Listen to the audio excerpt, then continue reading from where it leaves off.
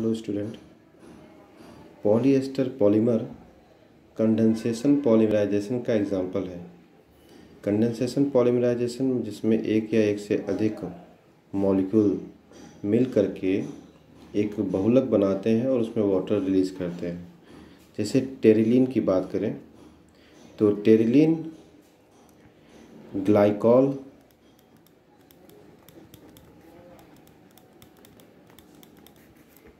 और terephthalic acid terephthalic acid के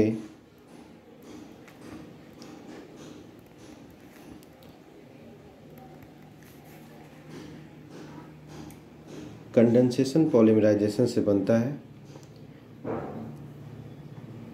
देखें। O H C H two C H two O H plus H C C six H four C six H four C double O H तो इसका condensation polymerisation करा देते हैं तो water का एक मॉलिक्यूल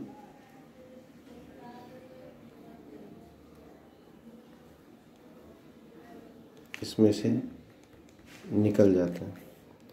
और अगर इसके हम यहाँ पे एन मॉलिक्यूल लिए हों, इसके भी हम एन मॉलिक्यूल लिए हों तो एच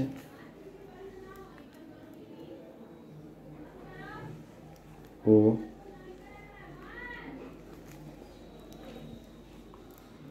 सी ओ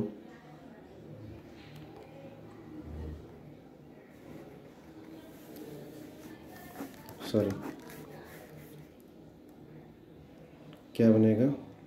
H O C H two C H two O double bond C six H four C double bond O n, O H और वाटर का एक मॉलिक्यूल निकल जाएगा। इसी को हम लोग टेरिलीन कहते हैं। इसी को हम लोग ने नाम क्या दिया है? टेरिलीन। तो टेरिलीन का निर्माण हम ग्लाइकॉल और टेरेप्थेलिक एसिड से करते हैं। ग्लाइकॉल और टेरिपथेलिक एसिड के एन मॉलिक्यूल्स को लेकर के उसमें वाटर निकाल देते हैं तो टेरिलीन प्राप्त होता है। ये एक पॉलीएस्टर पॉलीमर है। ठीक है थैंक यू आज